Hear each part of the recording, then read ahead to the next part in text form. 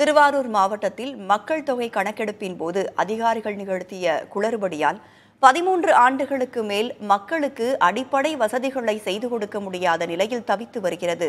ஒரு ஊராட்சி நிர்வாகம்.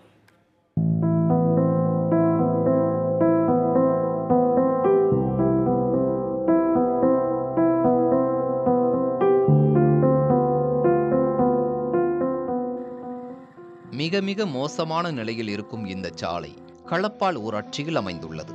திருவாரூர் மாவட்டத்தில் முத்துப்பேட்டை தாலுகாவில் உள்ளது களப்பால் ஊராட்சி. இங்கு வசிக்கும் மக்களுக்கு விநியோகிப்பதற்கான குடிநீரை தேக்கி வைப்பதற்காக அமைக்கப்பட்டுள்ள மேல்நிலை குடிநீர் தேக்க தொட்டியும் அபாயகரமான நிலையில் உள்ளது.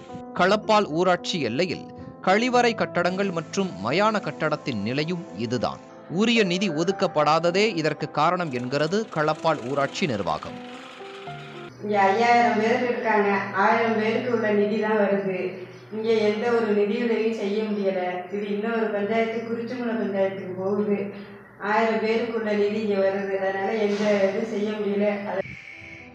களப்பால் ஊராட்சியின் இந்த அவலத்திற்கு மக்கள் தொகை கணக்கெடுத்த அதிகாரிகளின் அலட்சியம்தான் ஒரே காரணம் என்கிறார்கள் கிராமவாசிகள்.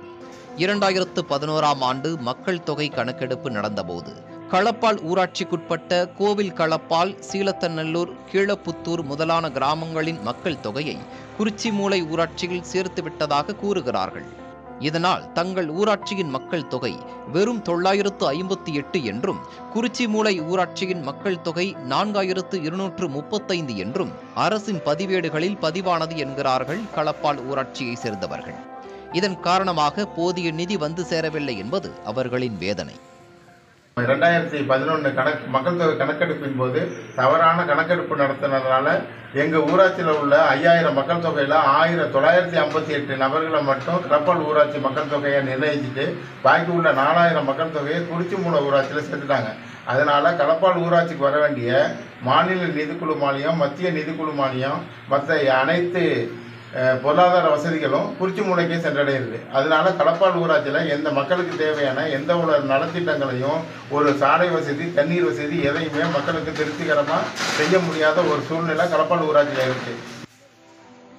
மக்கள் தொகை குழப்பங்கள் தொடர்பாக திருவாரூர் மாவட்ட ஆட்சியரிடம் பலமுறை மனுக்கள் அளித்தும் நடவடிக்கை இல்லை என களப்பால் ஊராட்சி மக்கள் வேதனை தெரிவிக்கின்றனர்.